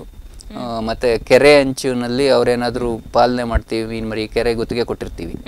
ಅಲ್ಲಿ ಮೀನು ಮರಿ ಪಾಲನೆ ಮಾಡಲಿಕ್ಕೆ ಒಂದು ಕೊಳ ಮಾಡಿಕೊಂಡು ಅವ್ರು ಮೀನು ಮರಿ ಪಾಲನೆ ಮಾಡ್ತೀವಿ ಅಂದರೆ ಅದಕ್ಕೂ ಕೂಡ ಸಹಕಾರ ಕೊಡ್ತಾ ಇದ್ದೀವಿ ಅದಕ್ಕೆ ಸಹಾಯಧನ ಕೊಡ್ತಾ ಇದ್ದೀವಿ ಸೊ ಈ ರೀತಿ ಒಟ್ಟು ಮೀನು ಉತ್ಪಾದನೆಗೆ ಏನೇನು ಅವಕಾಶ ಇದೆ ಅದಲ್ದಲೇ ಈ ಏನೇನು ಅನುಕೂಲಗಳಿವೆ ಅವನ್ನೆಲ್ಲ ನಾವು ಮಾಡಲಿಕ್ಕೆ ಯೋಜನೆಗಳ ಮುಖಾಂತರ ಮಾಡ್ತಾ ಇದ್ದೀವಿ ಇನ್ನು ಪ್ರಧಾನಮಂತ್ರಿ ಮತ್ಸ್ಯ ಸಂಪದ ಯೋಜನೆ ಬಗ್ಗೆ ಹೇಳೋದಾದ್ರೆ ಅದರಲ್ಲಿ ನಾವು ಮೀನು ಬೆಳೆಯೋದ್ರಿಂದ ಹಿಡಿದು ಮರಿ ಮಾಡಿಸೋದ್ರಿಂದ ಹಿಡಿದು ಮಾರಾಟ ಮಾಡಿ ಗ್ರಾಹಕರ ತಟ್ಟೆ ಒಳಗೆ ಸೇರೋವರೆಗೂ ಏನೇನ್ ಚಟುವಟಿಕೆಗಳಿವೆ ಅವನ್ನೆಲ್ಲ ಕವರ್ ಮಾಡಲಿಕ್ಕೆ ಅವಕಾಶ ಮಾಡಿಕೊಟ್ಟಿದ್ದಾರೆ. ಈ ಹಾರ್ವೆಸ್ಟಿಂದ ಪ್ರೊಡಕ್ಷನ್ನು ಹಾರ್ವೆಸ್ಟಿಂಗು ಪೋಸ್ಟ್ ಹಾರ್ವೆಸ್ಟಿಂಗ್ ಈ ತರ ಮೂರ್ ಭಾಗ ಇದೆ. ಯಾವುದೇ ಚಟುವಟಿಕೆ ತಗೊಂಡ್ರೆ ಕೃಷಿ ಚಟುವಟಿಕೆ ನಾನು ಅದನ್ನ ನೆಕ್ಸ್ಟ್ ಪ್ರಶ್ನೆ ಕೇಳೋಳಿದೆ. ಬಿಕಾಸ್ ನಾವು ಇದನ್ನ ಹೇಗೆ ಮೀನನ್ನ ಸಾಕ್ಬೇಕು ಅನ್ನೋದನ್ನೆಲ್ಲ ತೋರಿಸಿದ್ವಿ ಬೆಳೆಸಬೇಕು ಅನ್ನೋದನ್ನ ತೋರಿಸಿದ್ವಿ. ನಂತರದಲ್ಲಿ ಮಾರ್ಕೆಟ್ ತುಂಬಾ ಇಂಪಾರ್ಟೆಂಟ್ ಆಗುತ್ತೆ ಎಲ್ಲಾ ವಿಷಯಗಳಲ್ಲೂ ಮಾರ್ಕೆಟಿಂಗ್ ಬರೋದಾದ್ರೆ ನಮ್ದು ಇಲ್ಲಿ ಕೆ ಎಫ್ ಡಿ ಸಿ ಮಳಿಗೆನೆ ಇದೆ ನಮ್ಮ ಕಚೇರಿ ಪಕ್ಕ. ಸಾಕಷ್ಟು ಈಗ ಅದು ಪ್ರಚಾರ ಆಗಿದೆ. ಅದ್ರ ಬಗ್ಗೆ ಸಾಕಷ್ಟು ಜನ ಬಂದಲ್ಲಿ ಮೀನು ಖರೀದಿ ಮಾಡ್ತಾರೆ. ನಮ್ದು ಕರ್ನಾಟಕ ಮೀನುಗಾರಿಕೆ ಅಭಿವೃದ್ಧಿ ನಿಗಮ ಅಂತ ಇದೆ ಮಂಗಳೂರಲ್ಲಿ. ಅವರದ್ದು ಶಾಖೆ ಇಲ್ಲಿದೆ ಹ್ಮ್. ಸೊ ಅಲ್ಲಿ ಮೀನು ಮಾರಾಟ ಮತ್ತು ಮೀನು ಆಹಾರ ಮಳಿಗೆ ಅವ್ರದ್ದು ಇದೆ ಅಲ್ಲಿ. ಅಲ್ಲಿ ಸಾಕಷ್ಟು ಈಗ ಪ್ರಚಾರ ಆಗಿದೆ ಅದ್ರ ಬಗ್ಗೆ ಸಾಕಷ್ಟು ಜನ ಬರ್ತಾರಲ್ಲಿ ಅದೇ ರೀತಿ ಖಾಸಗಿಯವರು ಮೀನು ಮಾರಾಟ ಮಳಿಗೆ ಹಾಕ್ಲಿಕ್ಕೆ ನಮ್ಮ ಕೇಂದ್ರ ಪುರಸ್ಕೃತ ಯೋಜನೆಯಲ್ಲಿ ಅವಕಾಶ ಇದೆ. ಖಾಸಗಿಯಾಗಿ ಮೀನು ಮಾರಾಟ ಮಳಿಗೆ ಹಾಕ್ಲಿಕ್ಕೆ ಸಾಧ್ಯತೆ ಇದೆ. ಸೊ ಬಹುಶಃ ವೆರೈಟಿ ಆಫ್ ಆಪ್ಷನ್ಸ್ ಇರುತ್ತೆ ಅನ್ಸುತ್ತಲ್ಲ ಬಿಕಾಸ್ ಇದು ಕನ್ಸ್ಯೂಮಿಂಗ್ ಆಗಿರೋದ್ರಿಂದ ಖಾಸಗಿ ಮಳಿಗೆಗಳನ್ನಾದ್ರೂ ಮಾಡ್ಕೋಬಹುದು ಅಥವಾ ಯಾರಿಗಾದ್ರೂ ಸೇಲ್ ಕೂಡ ಮಾಡ್ಕೊಳ್ತಾ ಇರಬಹುದಾಗುತ್ತೆ ಹೌದು ಮಾರಾಟ ಮಾಡ್ಲಿಕ್ಕೆ ಸಾಕಷ್ಟು ಅವಕಾಶಗಳಿವೆ ಇದರಲ್ಲಿ. ಮಾರಾಟ ವ್ಯವಸ್ಥೆ ಕಲ್ಪಿಸೋದಕ್ಕೆ. ಸೊ ಒಂದು ಸರ್ವೆ ಪ್ರಕಾರ ವರ್ಷಕ್ಕೆ ಒಬ್ಬ ವ್ಯಕ್ತಿ ಒಂಬತ್ತು ಕೆಜಿ ಇಷ್ಟು ಮೀನು ತಿಂತಾನೆ ಅನ್ನೋದು ಒಂದು ಆವರೇಜ್ ಕ್ಯಾಲ್ಕುಲೇಷನ್ ಇದೆ. ಸೊ ಹಾಗಾಗಿ ಇದರಲ್ಲಿ ಫ್ಯೂಚರ್ ಇದೆ ಹೌದೌದು. ಈಗ ವಿಶ್ವ ಆರೋಗ್ಯ ಸಂಸ್ಥೆ ಏನು ಹೇಳುತ್ತೆ ಅಂದ್ರೆ ಹದಿನಾರರಿಂದ ಇಪ್ಪತ್ತು ಕೆ ಜಿ ಮೀನು ಕನ್ಸ್ಯೂಮ್ ಮಾಡಬೇಕು ಒಂದು ದೇಶದಲ್ಲಿ ಅಂತ ಇದೆ. ನಮ್ಮ ದೇಶದ್ದು ಅವರೇಜ್ ನೋಡಿದ್ರೆ ಹತ್ತರಿಂದ ಹನ್ನೊಂದು ಕೆ ಜಿ ಇದೆ ನಮ್ಮ ಕರ್ನಾಟಕದ ಕಂಪೇರ್ ಮಾಡಿದ್ರೆ ಆರರಿಂದ ಏಳು ಕೆ ಜಿ ಇದೆ ಸೊ ಇನ್ನೂ ಅವಕಾಶ ಇದೆ. ನಾವು ಹದಿನಾರು ಕೆ ಜಿಗೆ ತಲುಪಿಸ್ಬೇಕಂದ್ರೆ ಅಷ್ಟು ಪ್ರೊಡಕ್ಷನ್ ಮಾಡಬೇಕು ಅಷ್ಟು ಡಿಮ್ಯಾಂಡ್ ಇದೆ. ಇತ್ತೀಚೆಗೆ ಆರೋಗ್ಯದ ಸಮಸ್ಯೆಗಳಲ್ಲಿ ಮೀನಿನ ಒಂದು ಪಾತ್ರದ ಬಗ್ಗೆ ಸಾಕಷ್ಟು ಒತ್ತು ಕೊಡ್ತಾ ಇದ್ದಾರೆ. ಹೃದಯ ಹೃದಯದ ಸಮಸ್ಯೆ ಇರ್ಬೋದು ಬೇರೆ ಬೇರೆ ಸಮಸ್ಯೆ ಇರ್ಬೋದು. ಅವುಗಳಿಗೆ ಮೀನು ಒಂದು ಆಹಾರದಲ್ಲಿ ಮದ್ದಿನ ರೂಪದಲ್ಲಿ ಬರುತ್ತೆ ಅನ್ನೋದು ಕೂಡ ಮಾಹಿತಿ ಇದೆ. ವೈದ್ಯರು ಕೂಡ ಇದನ್ನ ರೆಕಮೆಂಡ್ ಮಾಡ್ತಾರೆ ಪ್ರಿಫರ್ ಮಾಡ್ತಾರೆ. ಬೇರೆ ಮಾಂಸದ ಒಂದು ಆಹಾರಗಳಿಗೆ ಹೋಲಿಸಿದ್ರೆ ಮೀನಿನ ಆಹಾರ ಮಕ್ಕಳಿಗೂ ಕೂಡ ಬಹಳ ಬೇಗ ಡೈಜೆಸ್ಟ್ ಆಗುತ್ತೆ. ಸೊ ಹಾಗಾಗಿ ಇದು ಬಹಳ ಪ್ರಿಫರ್ಡ್ ಫುಡ್ ಅಂತ ಹೇಳಿ ಇತ್ತೀಚೆಗೆ ಹೆಚ್ಚಿನ ಜನ ಮೀನು ಇದಕ್ಕೆ. ಬಳಸಲಿಕ್ಕೆ ಆಸಕ್ತಿ ವಹಿಸ್ತಾ ಇದ್ದಾರೆ. ಅದೇ ರೀತಿ ದರಗಳು ಹೋಲಿಸಿದ್ರು ಕೂಡ ಬೇರೆ ಆಹಾರಗಳಿಗೆ ಹೋಲಿಸಿದ್ರೆ ಇದು ಒಂದು Reasonable ಆಗಿದೆ ಪ್ರೈಸ್ ಹೌದು, ಯಾಕಂದ್ರೆ ಪೋರ್ ಮ್ಯಾನ್ಸ್ ಪ್ರೋಟೀನ್ ಅಂತಾನೆ ಹೇಳ್ತೀವಿ. ಆಹಾರ ಇದು ಪ್ರೋಟೀನ್ ಸೋರ್ಸ್ ಇದೆಯಲ್ಲ ಬಹಳ ಉತ್ಕೃಷ್ಟವಾದ ಪ್ರೋಟೀನ್ ಇದ್ರದ್ದು ಹ್ಮ್ ಸೊ ಅದು ಸಣ್ಣ ಸಣ್ಣ ಮೀನುಗಳು ಸಿಗುತ್ತವೆ ಕೆಲವು. ಬಡವರಿಗೆ ಅಥವಾ ಆಹಾರ ಹೆಚ್ಚು ದುಡ್ಡು ಕೊಟ್ಟು ಮಾಂಸಾಹಾರ ಖರೀದಿ ಮಾಡ್ಲಿಕ್ಕೆ ಆಗದಲ್ಲೇ ಇರೋರಿಗೆ ಇಂಥ ಮೀನುಗಳು ಬಹಳಷ್ಟು ಪೌಷ್ಟಿಕಾಂಶಗಳನ್ನ ಒದಗಿಸುತ್ತವೆ. ಸೊ ಹಾಗಾಗಿ ನಾವು ಹೆಚ್ಚು ಮೀನ್ ತಿನ್ನಿ ಅಂತ ಹೇಳಿ ಪ್ರಚಾರ ಮಾಡ್ತೀವಿ. ನಮ್ಮ ಇಲಾಖೆದು ಸಾಮಾಜಿಕ ಜಾಲತಾಣನೂ ಇದೆ. ಅದರಲ್ಲೂ ಕೂಡ ಇದ್ರ ಬಗ್ಗೆ ಸಾಕಷ್ಟು ಮಾಹಿತಿನ ಕೊಡ್ತಾ ಇರ್ತೀವಿ. ಟ್ವಿಟರ್ ಖಾತೆ ಇದೆ. ನಮ್ಮ ತುಮಕೂರು ಮೀನುಗಾರಿಕೆದು ಒಂದು ಟ್ವಿಟರ್ ಖಾತೆ ಇದೆ. ಅದನ್ನು ಎಲ್ಲರೂ ಫಾಲೋ ಮಾಡಿ ಅಂತ ಕೇಳ್ಕೊಂತೀನಿ. ಓಕೆ. ಸೊ ಈಗ ಕಾರ್ಯಕ್ರಮ ನೋಡ್ತಾ ಇರೋ ಯೂತ್ಸ್ ಯಾರಾದ್ರೂ ನಾನು ಮೀನುಗಾರಿಕೆಗೆ ಇಳಿಬೇಕು ಅಂತ ಹೇಳೋದಾಯ್ತು ಅಂದ್ರೆ ಸೊ ಏನ್ ಹೇಳೋಕೆ ಇಷ್ಟಪಡ್ತೀರಾ? ಜೊತೆಗೆ ತುಮಕೂರು ಮೀನುಗಾರಿಕಾ ಇಲಾಖೆ ಹೇಗೆ ಜನತೆ ಜೊತೆಗಿರುತ್ತೆ ಅಂತ ಹೇಳೋಕೆ ಇಷ್ಟಪಡ್ತೀರಾ? ಕೊನೆಯದಾಗಿ. ಮುಖ್ಯವಾಗಿ ಯಾರ್ಯಾರು ಮೀನು ಆಸಕ್ತಿ ಇದೆ ಅವರೆಲ್ಲರನ್ನೂ ನಾವು ಮುಕ್ತವಾಗಿ ಆಹ್ವಾನ ಮಾಡ್ತೀವಿ. ಮೀನು ಕೃಷಿ ಕೈಗೊಳ್ಳಿ ಮೀನು ಬೆಳೀರಿ ಮೀನು ತಿನ್ನಿ ಅಂತ ಹೇಳ್ತಾ ಇರ್ತೀವಿ. ಹೆಚ್ಚಿನದಾಗಿ ನೀವು ನಮ್ಮ ಇಲಾಖೆಯಿಂದ ಒಂದು ಮೀನುಗಾರಿಕೆ ಸಹಾಯವಾಣಿ ಕೂಡ ಇದೆ. ಸಂಖ್ಯೆ ಎಂಟು ಎರಡು ಏಳು ಏಳು ಎರಡು ಸೊನ್ನೆ ಸೊನ್ನೆ ಮೂರು ಸೊನ್ನೆ ಸೊನ್ನೆ. ಈ ಸಂ ಸಂಖ್ಯೆಗೆ ಸಂಪರ್ಕ ಮಾಡಿ ಎಲ್ಲ ನಮ್ಮ ಮಾಹಿತಿಗಳಲ್ಲಿ ನಿಮಗೆ ಸಿಗುತ್ತೆ. ನಮಗೂ ಸಂಪರ್ಕ ಮಾಡ್ತಾರೆ. ನಮ್ಮ ಕಚೇರಿನಲ್ಲೂ ಕೆಲವೊಂದು ಮಾಹಿತಿಗಳನ್ನ ಅಳವಡಿಸಿದ್ದೀವಿ. ಕೆಲವು ಪ್ರಾತ್ಯಕ್ಷತೆಗಳ್ನು ಕೂಡ ಮಾಡಿದ್ದೀವಿ ಆಸಕ್ತಿ ಇರೋರು ಬಂದು ನೋಡಿ ಮಾಹಿತಿ ಪಡ್ಕೋಬೋದು. ಯಾವ ನಿಮ್ಗೆ ಯಾವುದೇ ಒಂದು ಮಾಹಿತಿ ಬೇಕಂದ್ರೆ ನಮ್ಮನ್ನ ಸಂಪರ್ಕ ಮಾಡ್ಬೋದು ಮೀನು ಕೃಷಿ ಬಗ್ಗೆ ಮೀನುಗಾರಿಕೆ ಬಗ್ಗೆ. ಧನ್ಯವಾದಗಳು. ಥ್ಯಾಂಕ್ ಯು ಸರ್ ಇವತ್ತಿನ ಕಾರ್ಯಕ್ರಮದಲ್ಲಿ ಮೀನುಗಾರಿಕೆ ಅಂದ್ರೆ ಏನು? ಏನೆಲ್ಲ ವಿಷಯಗಳನ್ನ ತಿಳ್ಕೊಂಡು ಮೀನುಗಾರಿಕೆಗೆ ಇಳಿಬೇಕಾಗುತ್ತೆ ಜೊತೆಗೆ ಇಲಾಖೆ ಯಾವ ರೀತಿ ಸಪೋರ್ಟ್ ಆಗಿರುತ್ತೆ ಜನಗಳಿಗೆ ಮೀನುಗಾರಿಕೆ ಮಾಡುವಂತ ಒಂದು ಕೃಷಿಕರಿಗೆ ಅಂತ ತಿಳಿಸ್ಕೊಟ್ರಿ. Thank you so much sir thank you thank you very much ಧನ್ಯವಾದಗಳು. ಎಸ್ ನೋಡಿದ್ರಲ್ಲ ವೀಕ್ಷಕರೇ ಮೀನುಗಾರಿಕೆ ಇಲಾಖೆ ಯಾವೆಲ್ಲ ರೀತಿಯ ಯೋಜನೆಗಳನ್ನ ರೂಪಿಸಿದೆ? ಜೊತೆಗೆ ಸರ್ಕಾರ ಯಾವ ರೀತಿ ಯೋಜನೆಗಳನ್ನ ಕೊಡ್ತಾ ಇದೆ, ಅದರ ಜೊತೆಗೆ ಮೀನುಗಾರಿಕೆ ಅಂದ್ರೆ ಏನು ಯಾವ್ಯಾವ ಹಂತಗಳಲ್ಲಿ ಮೀನುಗಾರಿಕೆ ಕೃಷಿ ಆರಂಭ ಆಗುತ್ತೆ, ಜೊತೆಗೆ ಮಾರ್ಕೆಟಿಂಗ್ ಹೇಗೆ ನಡೆಯುತ್ತೆ, ಈ ಎಲ್ಲಾ ವಿಷಯಗಳ ಸಂಪೂರ್ಣ ಮಾಹಿತಿ ನಿಮ್ಮೆಲ್ಲರಿಗೂ ಇಷ್ಟ ಆಗಿದೆ ಅಂತ ಭಾವಿಸಿದ ಜೊತೆಗೆ ಮೀನು ಕೃಷಿಗೆ ಯಾರಿಗಾದ್ರೂ ನಿಜವಾಗ್ಲೂ ಆಸಕ್ತಿ ಇತ್ತು, ನಾನು ಒಬ್ಬ ಮೀನು ಕೃಷಿಯನ್ನ ಮಾಡುವಂತಹ ಕೃಷಿಕ ಆಗಬೇಕು ಅಂತ ಇತ್ತು ಅಂದ್ರೆ, ನೀವು ಖಂಡಿತವಾಗ್ಲೂ ಇಲಾಖೆಗೆ ಸಂಪರ್ಕಿಸಬಹುದು, ಇಲಾಖೆಗೆ ತೆರಳಿ ಮಾಹಿತಿಯನ್ನು ಪಡೆದುಕೊಳ್ಬಹುದು, ಅದರ ಜೊತೆಗೆ ಅವರ ಹೆಲ್ಪ್ ಲೈನ್ ಇದೆ ಟ್ವೆಂಟಿ ಫೋರ್ ಇಂಟು ಸೆವೆನ್ ಕಾರ್ಯನಿರ್ವಹಿಸುವಂತ ಒಂದು ಹೆಲ್ಪ್ ಲೈನ್ ಇದಾಗಿರುತ್ತೆ ಸೊ ನೀವು ಕರೆ ಮಾಡಿ ಸರ್ ಕೂಡ ನಂಬರ್ ತಿಳಿಸ್ಕೊಟ್ರು. ಸೊ ಕರೆ ಮಾಡಿ ನಿಮ್ಮ ಸಮಸ್ಯೆ ಅಥವಾ ಏನು ಕ್ವೆಶನ್ಸ್ ಇರುತ್ತೆ ಅದನ್ನೆಲ್ಲ ಕೂಡ ತಿಳಿಸ್ಕೊಳ್ಬಹುದು ಸೊ ಈ ತರ ಪ್ರಾಬ್ಲಮ್ಸ್ ಇದೆ ನನ್ನ ಭೂಮಿನಲ್ಲಿ ಅಂತಂದ್ರೆ ಸಾಯಿಲ್ ಟೆಸ್ಟ್ ಮಾಡೋದಕ್ಕೆ ಅವ್ರಿಗೆ ಹೇಳ್ತಾರೆ ಅಥವಾ ವಾಟರ್ ಟೆಸ್ಟ್ ಮಾಡಿಸ್ತಾರೆ. ಏನಿದೆ ಎಲ್ಲದನ್ನ ಅವರು ಮುಂದೆ ನಿಂತು ನಿಮಗೆ ಸಹಾಯ ಮಾಡ್ತಾರೆ. ಸೊ ನೀವು ಸ್ವಉದ್ಯೋಗವನ್ನ ಮಾಡ್ಕೊಳ್ಳೋದಕ್ಕೆ ಇದು ಕೂಡ ಒಂದು ಉತ್ತಮ ಅವಕಾಶ ಆಗುತ್ತೆ ಅಂತ ಹೇಳ್ತಾ ಇವತ್ತಿನ ವಿಶೇಷ ಕಾರ್ಯಕ್ರಮನ ಮುಗಿಸ್ತಾ ಇದ್ದೀನಿ. ಅಮೋಕ್ ಟಿವಿ ಎಂದೆಂದಿಗೂ ನಿಮ್ಮೊಂದಿಗೆ.